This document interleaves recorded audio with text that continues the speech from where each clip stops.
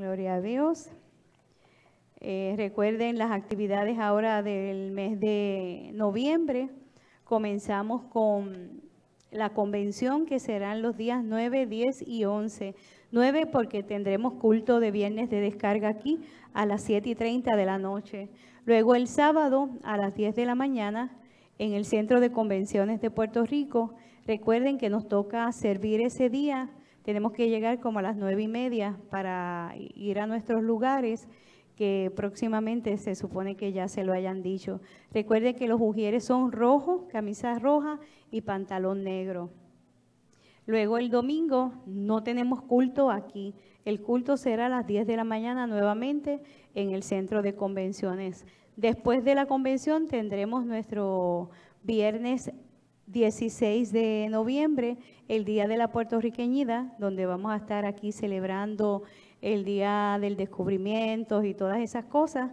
Vamos a estar todas las iglesias juntas y luego vamos a tener un compartir. No va, habrá platos típicos, pero vamos a tener un sopón. Y eh, en diciembre 15, el retiro de damas, hechura suya. Estará con nosotros compartiendo la palabra Cristi o Christine o Christine Müller, eh, que estuvo una vez con nosotros en Las Piedras. Pues recuerden que son 20 dólares Incluye el almuerzo, la merienda y un refrigerio para comenzar. Comenzamos a las 9 de la mañana, se supone que ustedes desayunen bien en su casa, dile que está a tu lado, desayuna bien en tu casa, porque no tendremos huevitos, ni revoltillos, ni jaboncitos, ni... Vamos a tener un entremés para comenzar. Vamos a tener café, vamos a tener jugo y otras cositas, pero dile que está a tu lado, no hay desayuno. Los 20 dólares incluyen otras cosas, pero no el desayuno. Así que, corregido este anuncio, vamos a entrar a la palabra. Quiero que me acompañen a Proverbios 4, 23. Proverbios 4, 23. Yo titulé lo que quiero compartir en esta noche, guarda tu corazón. Dice así la palabra del Señor. Sobre toda cosa guardada, guarda tu corazón, porque de él mana la vida. Oremos. Amantísimo Padre Celestial, Creador del cielo y de la tierra, volvemos delante de tu presencia dándote gracias por tu amor y tu misericordia. Gracias por el privilegio de ser tus hijos y de poder haber llegado aquí en bien, Señor. Qué mejor lugar que estar en tu casa. En este momento atamos, paralizamos y dejamos inoperante toda maquinación del enemigo, todo cansancio, todo sueño, todo desánimo, todo aquello que no provenga de ti queda cancelado. Solo a ti daremos la gloria y la honra de lo que ocurre en este lugar. Y nuevamente te pido, Señor, que tú abras mis oídos y abras mi corazón para poder escuchar tu voz. Yo te pido que tú abras los oídos y los corazones de tus hijos, mis hermanos, para que puedan escuchar tu voz. Me van a ver a mí, me van a escuchar a mí, pero que entiendan que eres tú a través de mí. Y nuevamente te pido, Señor, si tú puedes usar nada, aquí hay nada para que tú uses. Toda la gloria y la honra será tuya. Gracias, Señor, por el poder que tendrá esta palabra en la vida de cada uno de nosotros. Luego de ser expuestos a ella, no seremos igual. Gracias, Señor, porque al igual que el corazón físico tiene trastornos y enfermedades, asimismo se daña nuestro corazón espiritual. Gracias porque tú te has empeñado en amarnos y en enseñarnos, Señor, para que tengamos una vida abundante y luego la vida eterna. Gracias nuevamente por tu palabra. Todas estas cosas las pedimos en el dulce nombre de tu amado Hijo Jesús. Amén. Sobre toda cosa guardada, guarda tu corazón, porque de él mana la vida. Yo me di a la tarea de buscar la palabra guardar. Según el diccionario, guardar es poner una cosa en un lugar para que no se pierda. Conservar una cosa o retenerla, evitando que desaparezca, se pierda o se altere. ¿Qué es el corazón y cómo funciona? El corazón es el músculo que bombea la sangre rica en oxígenos y nutrientes a los tejidos del cuerpo a través de los vasos sanguíneos. El corazón mantiene la sangre en movimiento en nuestro cuerpo de forma unidireccional. Es un circuito cerrado, nada se pierde. Todo lo que entra por el corazón sale por el otro lugar y va dando vueltas. El corazón se encuentra ubicado en el medio de los pulmones. Siempre decimos, ¿verdad?, que el corazón está al lado izquierdo. Dile el que está a tu lado, tú, el corazón está en el centro del pecho, un poco más hacia la izquierda, cerca del esternón, pero está en el medio de los pulmones, porque Dios lo puso ahí estratégicamente porque Él quiere ser el centro de nuestras vidas y el corazón está en el centro del pecho. El corazón es uno de los órganos más importantes de los seres humanos. Tú puedes tener cualquier enfermedad, pero tú te mueres el día que el corazón se detiene. El viejancón Baby decía que cuando el buloba se para, se detiene la vida. Y el corazón es uno de los órganos más importantes que tiene el cuerpo del ser humano. Y el órgano que más trabaja en todo el cuerpo se llama el corazón. Vuelve conmigo a Proverbios, capítulo 4.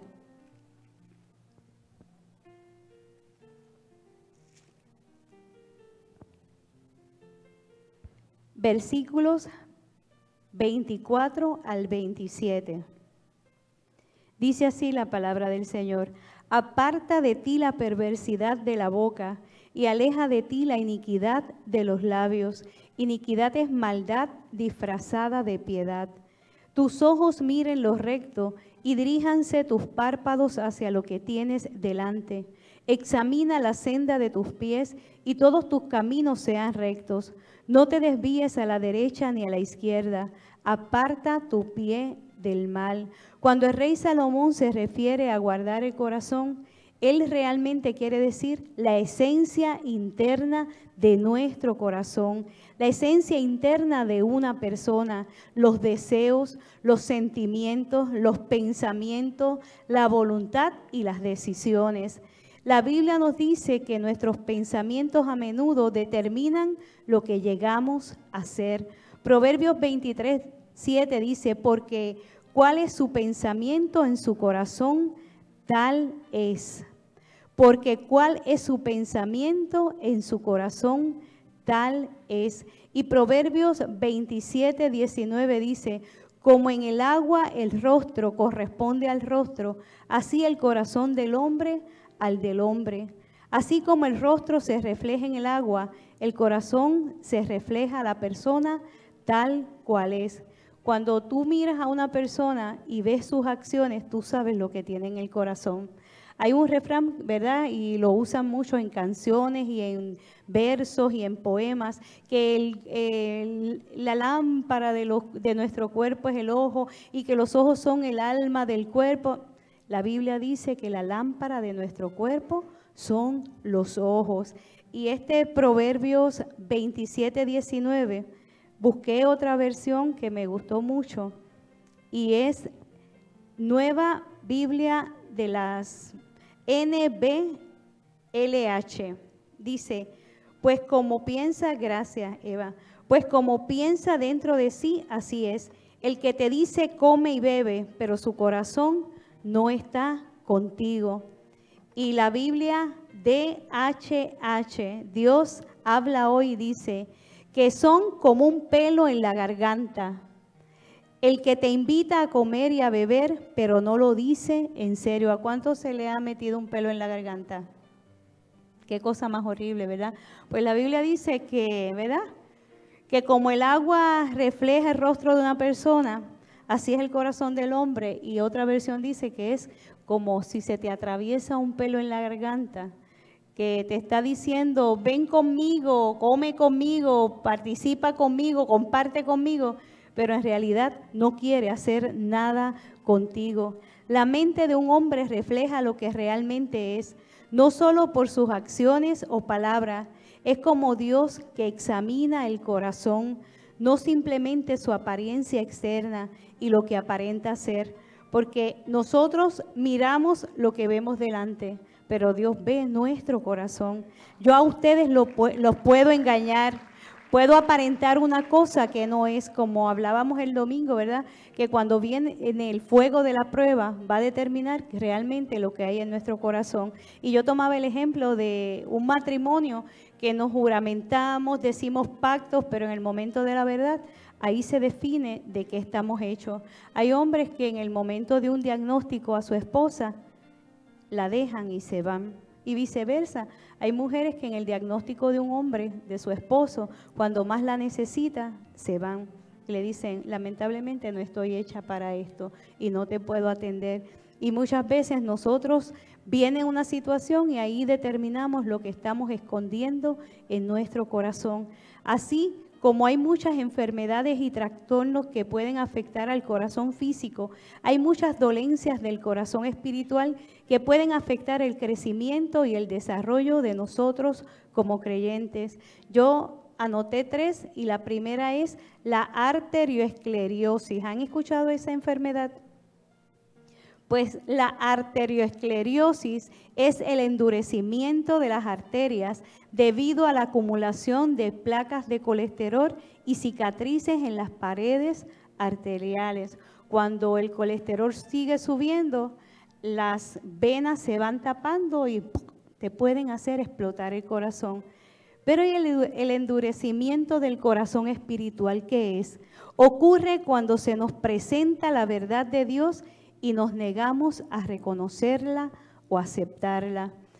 Cuando vamos a hacernos un chequeo médico y nos hacen el CBC y los lípidos y todas esas cosas, ¿verdad? Porque el doctor quiere saber cómo está funcionando nuestro corazón y nuestro sistema.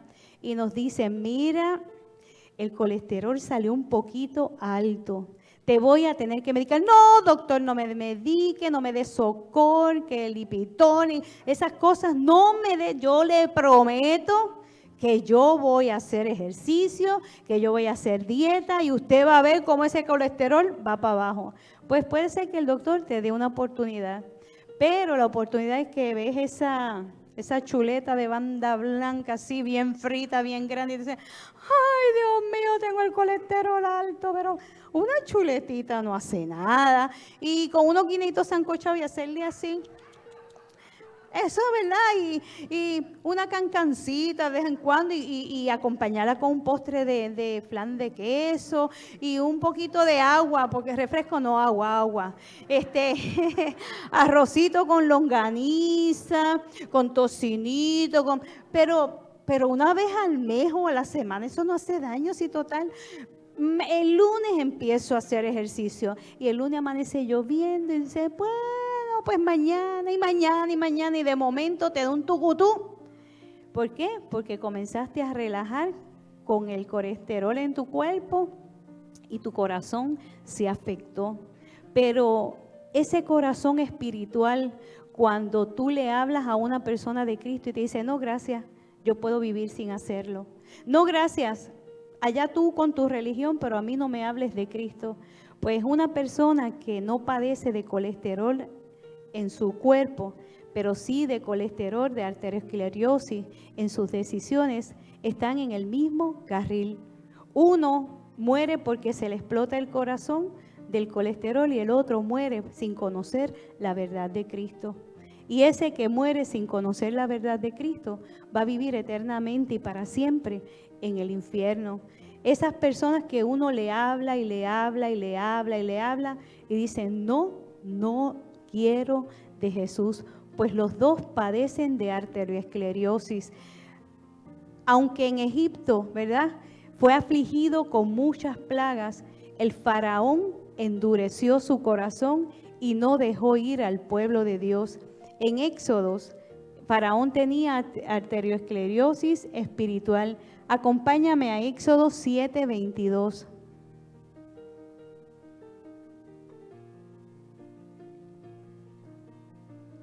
Éxodos, Éxodo, perdón. 7:22. Y los hechiceros de Egipto hicieron lo mismo con sus encantamientos, y el corazón de Faraón se endureció y no los escuchó como Jehová lo había dicho. Ahí mismo Éxodos 8, 32.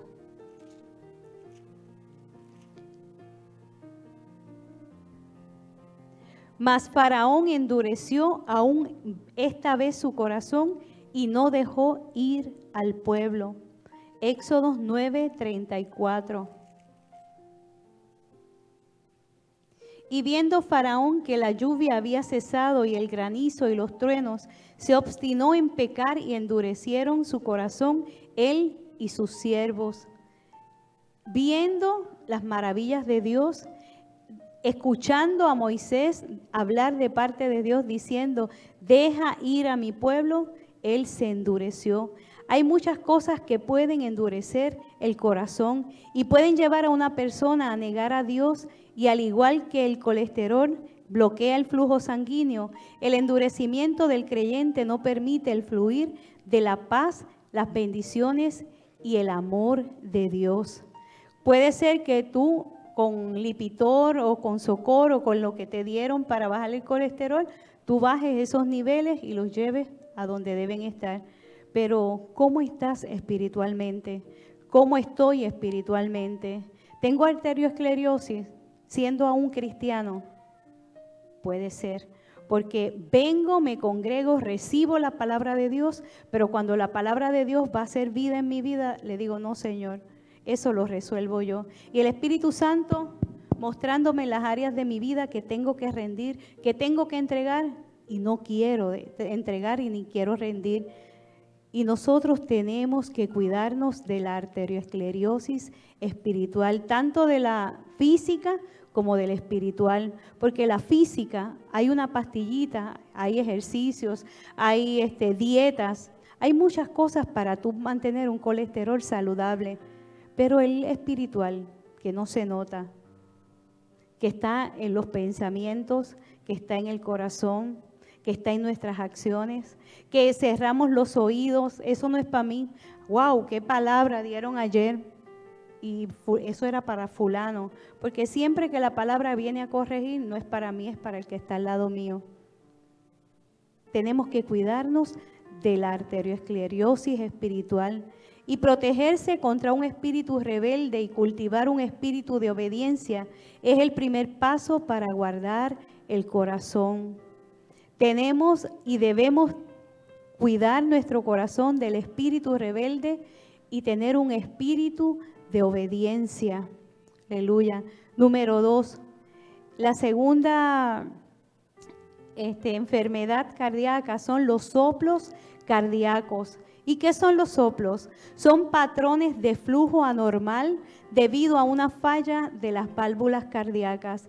Las válvulas cardíacas actúan como puertas para evitar el reflujo de sangre hacia el corazón. Si pueden buscar en internet un corazón, nosotros lo dibujamos así, ¿verdad? Bien bonito, pero el corazón es como un puño con varias válvulas por donde una entra la sangre y por otra sale. Y cuando hay un soplo, los soplos del corazón espiritual ocurren cuando los creyentes participan en la queja, en el chisme, en los conflictos y en las peleas. A los, creyentes se les ha enseñado en repetidas ocasiones que hay que evitar las quejas, que hay que evitar las murmuraciones y que hay que evitar el descontento. Acompáñenme a Juan 6:43. Juan 6, 43.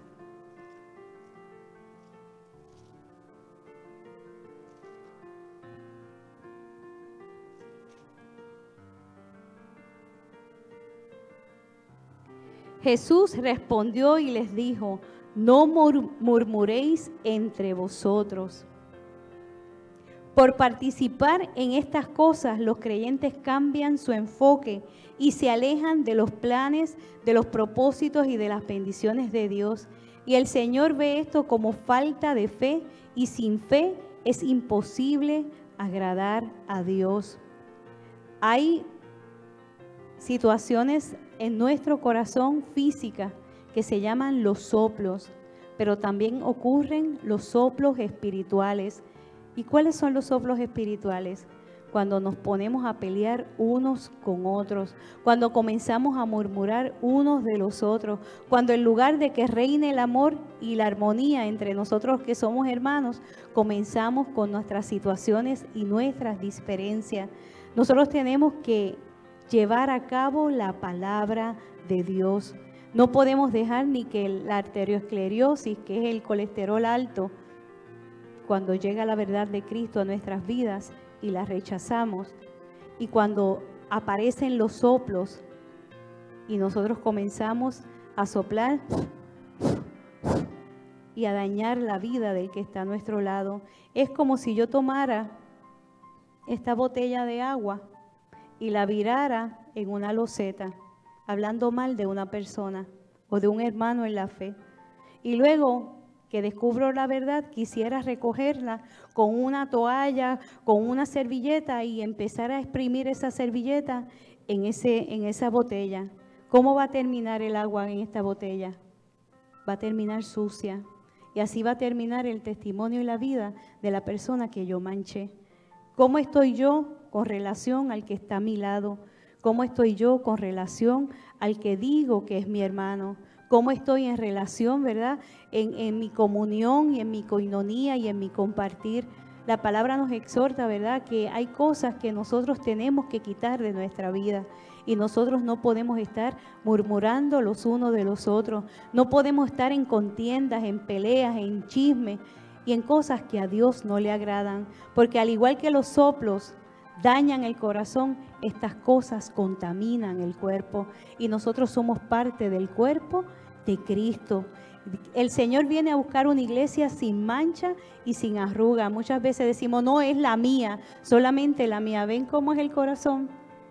Nosotros lo dibujamos, ¿verdad? Bien bonito y rojo, pero el corazón, todas esas partes son importantes. Por una entra la sangre, por otra sale y eso va latiendo y se van todas esas venidas no hay, cuando se tapan, no hay cataterismo, no hay, cuando está tapado, está tapado y explota.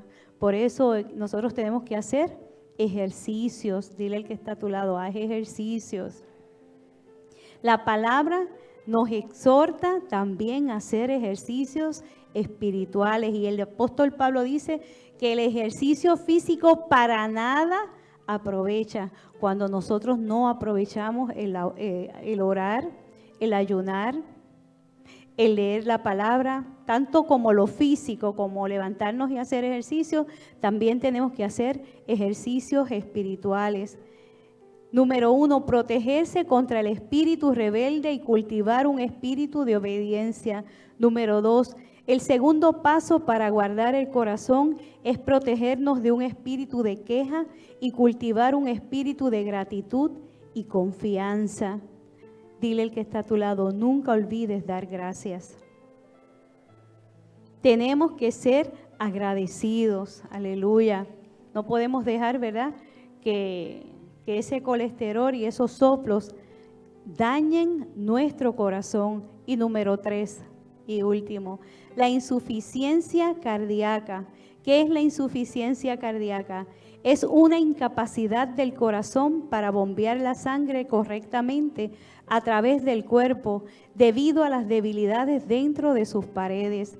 La insuficiencia cardíaca puede ser el resultado de la hipertensión, la presión arterial alta, o el infarto del miocardio. El infarto del miocardio nosotros lo conocemos como ataque al corazón. Cuando tú escuchas que alguien murió de un ataque al corazón, fue un infarto al miocardio. O cuando una persona nace con un corazón más grande de lo normal, agrandamiento, ¿verdad? Excesivo del corazón o anormal. Y los equivalentes espirituales son el enojo, el ceder a la tentación y el orgullo. Muchas veces no tenemos hipertensión, tenemos enojo. Y compartíamos el domingo, ¿verdad? Que las emociones no se tragan, porque el cuerpo nos va a pasar factura. Cuando tú tienes coraje, lo mejor que puedes hacer es gritar. Pero no, tú no puedes estar gritando como un loco donde quiera. Móntate en tu carro, eso es lo que yo hago. Yo me monto en el carro, prendo el radio, doy una vuelta y grito. Ya estoy hasta aquí. Y lloro y grito, porque estoy que si cojo a alguien, yo lo... Después que respiro y me siento bien, me echo gota, me pongo polvito en la nariz y aquí no ha pasado nada. Porque a veces te preguntan, ¿tú estabas llorando? No. Y la, la nariz como un botón colorado brilloso. Te vas a delatar, ponte polvo, ponte algo que se te... y échate gotitas en los ojos.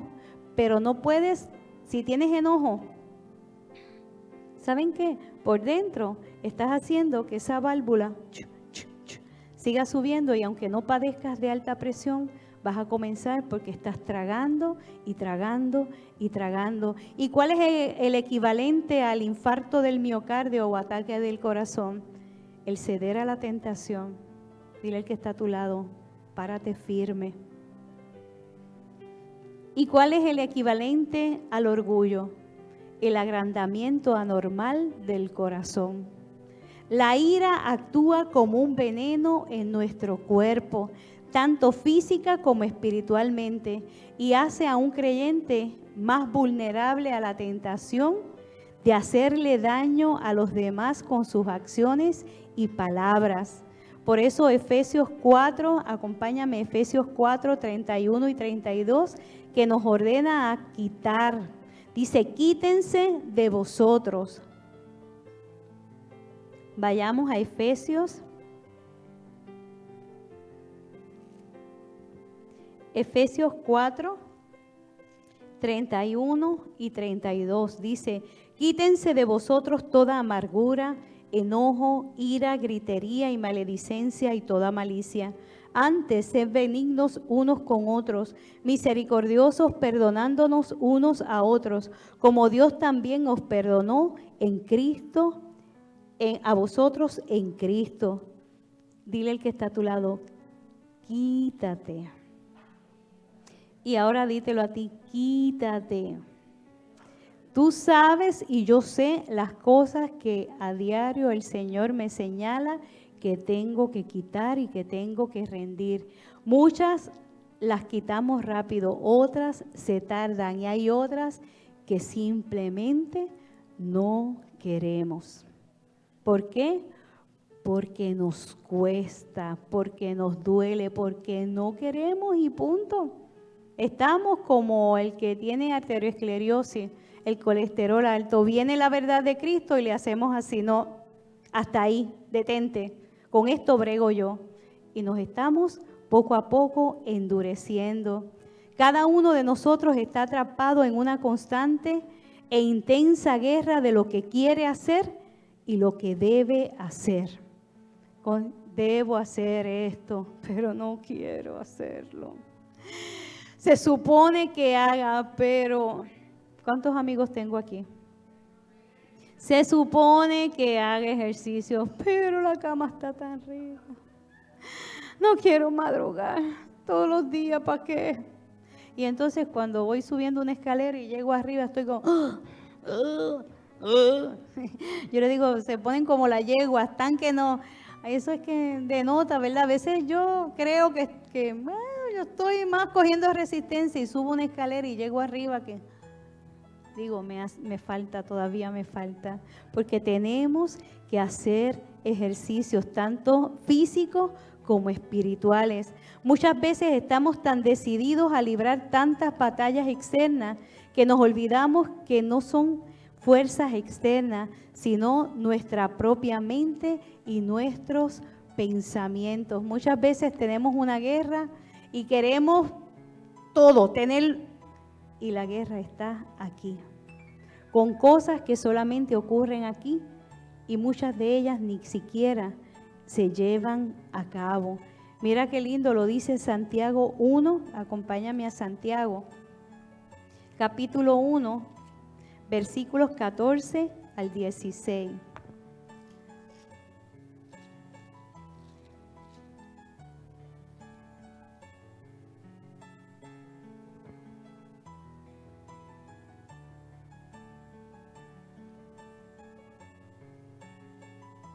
Lo tienen. En mi Biblia arriba dice, ¿verdad? Soportando las pruebas. Voy a leer desde el 13. Bienaventurado el varón que soporta la tentación, porque cuando haya resistido la prueba recibirá la corona de vida que Dios ha prometido a los que le aman. Cuando alguno es tentado, no diga que es tentado de parte de Dios, porque Dios no puede ser tentado por el mal, ni él tienta a nadie, sino que cada uno es tentado cuando de su propia concupiscencia es atraído y seducido. Entonces la concupiscencia, después que ha concebido, da a luz el pecado, y el pecado, el pecado siendo consumado da la muerte, da a luz la muerte. Amados hermanos míos, no erréis. Repite conmigo, no voy a errar. Otra vez, no voy a errar. Dile el que está a tu lado, no erréis. El pecado siempre comienza en la mente.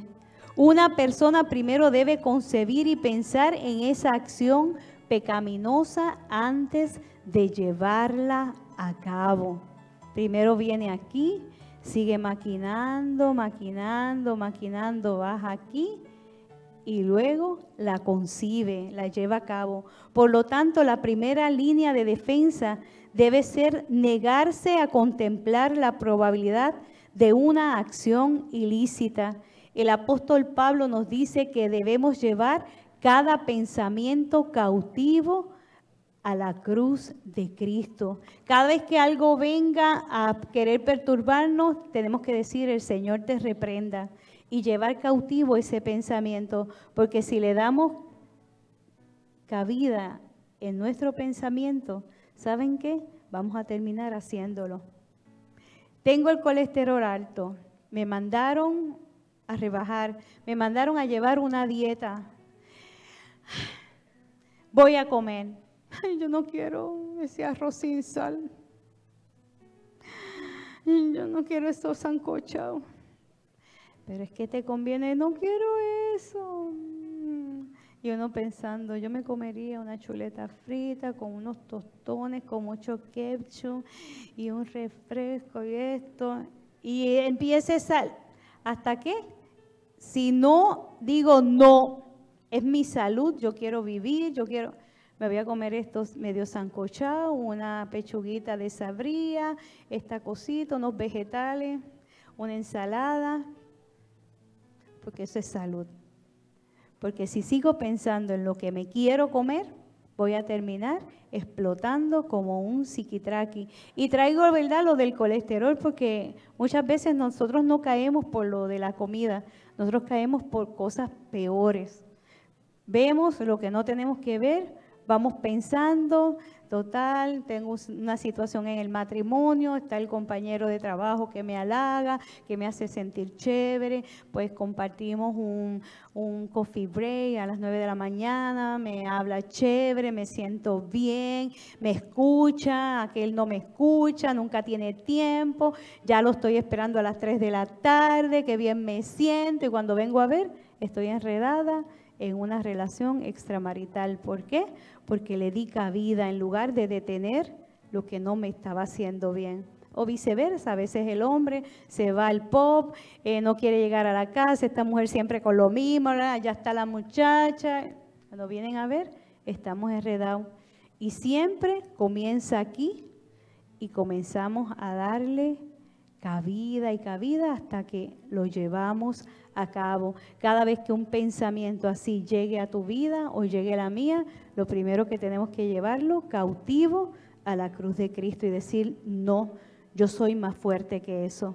O decirle, tú no me vas a destruir. Porque ¿qué desea el enemigo? Destruirnos. Él no quiere que nosotros alcancemos la corona de vida eterna. Él ya perdió el trono, Él ya perdió el cielo. Él no desea que nosotros lleguemos allá. Nosotros tenemos que pararnos firme en Cristo. Eva deseaba ser sabia como Dios, Por eso se rindió al consejo de Satanás. El enemigo no quiere que el hombre obedezca a Dios, sino que se convierta en su propio Dios, determinando por sí mismo la realidad, el sentido y la ética. Esta filosofía satánica es la filosofía conocida como la fundamental en la hechicería, en el humanismo y en el misticismo de la nueva era. Todo está en ti. El poder es tuyo. Tú eres el dueño de tu, de tu futuro. Tú eres el dueño de ti. Tú todo. No, la Biblia dice que todo lo puedo en Cristo que me fortalece. La nueva era dice que todo lo puedes tú en tu fuerza, que tú eres tu propio Dios, que tú eres tu propio yo, que tú puedes seguir hacia adelante, que no, nosotros tenemos que hacerle caso al Señor, aleluya. Evitar el enojo, evitar el orgullo, evitar la tentación, también son elementos esenciales para guardar nuestro corazón. El apóstol Pablo nos enseña en Filipenses 4:8, por lo demás, hermanos, todo lo que es verdadero, todo lo honesto, todo lo justo, todo lo puro, todo lo amable, todo lo que es de buen nombre, si hay virtud alguna, si algo digno de alabanza, en esto pensad. Tenemos que permanecer construyendo nuestra vida espiritual en Cristo y nuestra vida física también en el Señor, porque Dios dijo en su palabra que nuestro cuerpo es templo del Espíritu Santo. Si hay algo que le hace daño a tu cuerpo físico, no lo debes hacer. Si hay algo que le hace daño a tu cuerpo espiritual, no lo debes permitir. Al igual que la arteriosclerosis, que es el endurecimiento de las arterias debido al colesterol en la sangre, está el equivalente que es ¿Cuál es el equivalente de la arteriosclerosis espiritual? ¿Mm? No entiendo ese idioma. ¿Mm? El endurecimiento del corazón por cuando viene la, la verdad de Cristo y no la queremos recibir. El físico es cuando las arterias son tapadas por el colesterol. Esa es la esteroesclerosis. Pero el espiritual es cuando rechazamos la verdad de Cristo y nuestro corazón se va endureciendo. Podemos ser cristianos sirviéndole a Cristo con un corazón endurecido, porque cada vez que la palabra viene a corregirme a mí, la rechazo. Esa palabra es para fulano, eso es para sutano, eso es para aquel, para... yo estoy bien, yo estoy perfecto. Si yo estuviera bien y estuviera perfecta, no me estuvieran viendo porque el día que Dios termine conmigo me lleva para no perderme. Mientras me vean la cara, díganme, Dios no, díganme a mí, Dios no ha terminado contigo. Mientras nos veamos la cara, Dios no ha terminado con nosotros. Dios termina el día que nos lleva a su presencia. Lo otro son los soplos. ¿Cuáles son los soplos? ¿Qué aprendieron? Le estoy dando del corazón. ¿Qué, qué son los soplos? ¿Ah? Son los patrones de flujo anormal debido a la falla en las válvulas cardíacas, esas cosas azules, los que están las cositas abiertas, esas son las distintas válvulas del corazón. Pues esos son los soplos cardíacos y los soplos espirituales. Cuando los creyentes comienzan a pelear unos con otros, cuando comienza el chisme, cuando comienzan las peleas, cuando comienzan los las quejas y todas esas cosas que el Señor dice que no podemos permitir. Aleluya. Y el tercer, la insuficiencia cardíaca. Cuando hay una incapacidad del corazón para bombear la sangre correctamente a través del cuerpo se conoce como hipertensión o presión arterial alta, infarto del miocardio, que es un ataque al corazón, o cuando el corazón tiene un agrandamiento anormal. Los equivalentes espirituales son el enojo, el ceder a la tentación y el orgullo.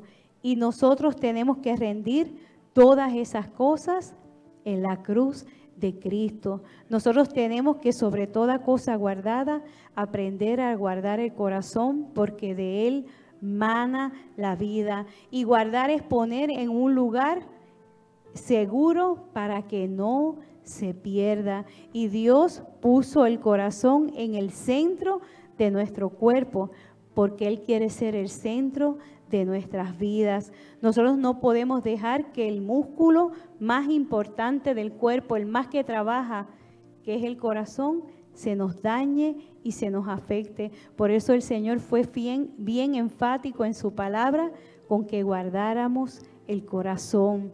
El día que el corazón se para, se acabó la vida, pero el día que el corazón se llena de cosas que a Dios no le agradan, como resentimientos, como dudas, como quejas, como amargura, son cosas que te van a ir comiendo y dañando, comiendo y dañando, y un día, ¡pum! Puede ser que físicamente no mueras, pero espiritualmente estás muerto. Y Dios no quiere nada de eso ni para ti ni para mí. Sobre toda cosa guardada, Guarda tu corazón porque de él mana la vida. Vamos a estar en pie.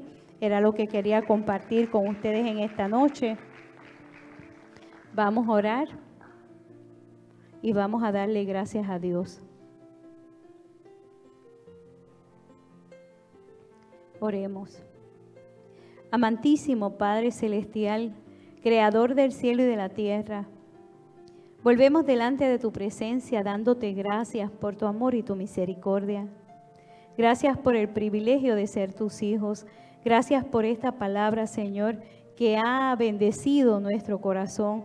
Gracias, Señor, porque sobre toda cosa guardada vamos a aprender a guardar nuestro corazón, porque del corazón van a la vida. Tú has puesto el corazón nuestro como un tesoro y cuando nosotros tenemos cosas de valor, cosas valiosas, cosas importantes, no las dejamos en cualquier lugar, no las dejamos a la vista de nadie, las conservamos, las guardamos, las atesoramos y las cuidamos. Y así tú deseas que nosotros guardemos nuestro corazón, que guardemos tu palabra, que guardemos nuestra mente y nuestros pensamientos, que nos cuidemos, Señor, de la arterioesclerosis, tanto física, que es el endurecimiento de las arterias debido al colesterol en la sangre, como del endurecimiento espiritual, Señor. Esas cosas que cuando llega tu verdad a nuestra vida, nosotros no las recibimos, nosotros las rechazamos, Señor, porque sin darnos cuenta estamos dejando que el terreno de nuestro corazón se ponga duro y se paralice y nos dañemos y nos perdamos. Señor, tenemos que cuidar nuestro corazón de los soplos, tanto de los soplos naturales, físicos, Señor, como de los espirituales. Señor, que no haya tanta contienda, tanto chisme, tanto problema, tanta queja, Señor.